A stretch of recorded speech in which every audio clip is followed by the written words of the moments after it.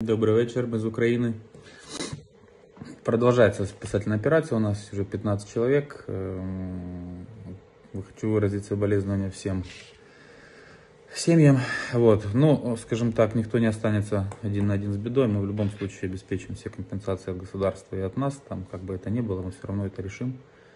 Вот. И этот удар был по большой степени там, на здание пофигу вообще. Эм, По нашим людям, по нашей семье. Вот, все эти 34 человека, которые, ой, 34 человека, говорю, 34 дня все ходили на работу, считайте, как на войне, да, то есть выполняли свой долг, это герои. Ничем не отличается эта работа от МЧС, от там, скорых, от докторов. Я был сегодня в больнице, общался со своим замом, со Светой, он улыбается, вот, побитая, но рвется в бой, звонит уже по работе, телефон толком брать не может. Это вот отношение к своей работе правильное. Сволочи, они и подонки. Продолжаем мы раскопки, скажем так, специальные раскопки, операцию спасательную, но уже это выглядит действительно как раскопки. Вот, э, что вам скажу.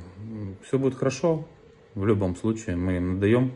Дух наш не поломать ни при каких обстоятельствах. Ну, таке буває. Война, жертвы.